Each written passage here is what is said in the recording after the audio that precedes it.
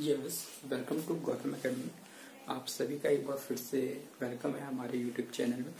तो आज हम हमारी वीडियो जो है वो एल पेपर के लिए है। सब्जेक्ट रहेगा हिंदी। और देखेंगे कि आपका जो हिंदी का पेपर बनता है वो कैसे बनता है और क्या क्या इसमें आता है। आइए सबसे पहले अगर हम हिंदी की बात करते हैं तो हिंदी उत्तराखंड अधीनस्थ सेवा चयन आयोग इसका पेपर करवाता है। पिछले बार भी इसने करवाया था। अगर हम उत्तराखंड टीटी 2017 की बात करें, जो कट ऑफ़ आपकी गई थी, वो 75.5 हाईएस्ट थी और 49.75 लोएस्ट थी। ये सभी उसके लिए है सभी स्टूडेंट के लिए है जो कट ऑफ़ गई थी, वो इस बार पिछले बार, वो इतनी गई थी। आइए देखते हैं ओनली वन पेपर होता है इसमें, एक ही पेपर होता है। टोटल नंबर अगर क्वेश्चन देखें तो सौ नंबर का क्वेश्चन होगा। और जिसमें आपको दो घंटे का टाइम मिलेगा। इसमें निगेटिव मार्किंग नहीं होगी।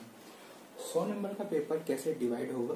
देखिए, सौ नंबर में जो तीस नंबर का पेपर होगा मतलब जो तीस क्वेश्चन होंगे, वो बी से संबंधित होंगे, जो कि शिक्षा शास्त्र से हम बोलते हैं, जिसमें आपका चाइल्ड डेवलपमेंट होता है पेटागोजी होता है, ठीक है?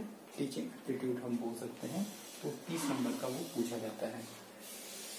इसके साथ साथ अट्ठाईस नंबर का आपका ट्वेल्थ लेवल का पूछा जाता है।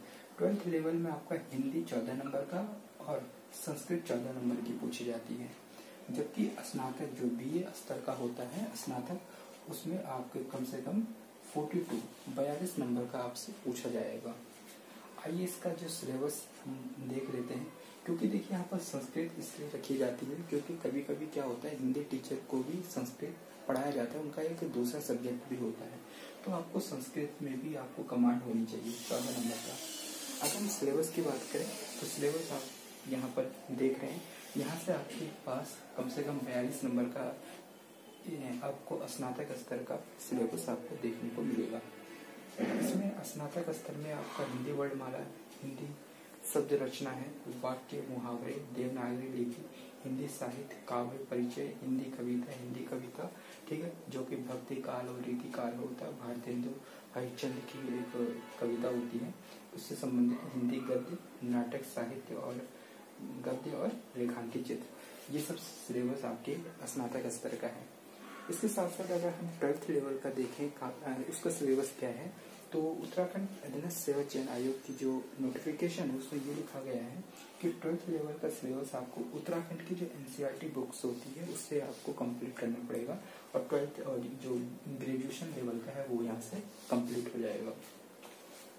तीस नंबर का जो आपके पास बीएड से आएगा टीचिंग एप्टीट्यूड उसके लिए बुक्स अगर हम रिक्वायर्ड करें तो बीएड की जितनी भी बुक्स होती है इग्नो की जितनी बुक्स होती, आप उसकी हेल्प ले सकते हैं।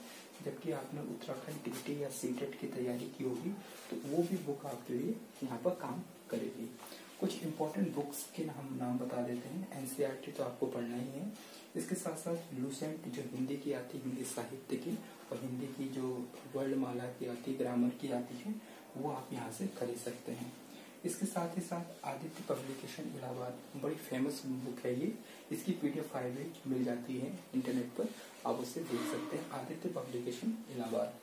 इसके साथ ही साथ बी ए स्नातक में अगर आपने बी ए किया होगा तो ज़रूर आपके पास बुक होगी। अगर बुक्स नहीं है तो उसे किसी से दूसरे से परचेज करवा लीजिएगा सेकेंड हैंड बुक जो आपके लिए महत्वपूर्ण रहेगी बी ए स्तर के लिए। तो दोस्तों, इतना सब कुछ है। अब आप सोच होंगे कि सर वैकेंसी कब तक आएगी?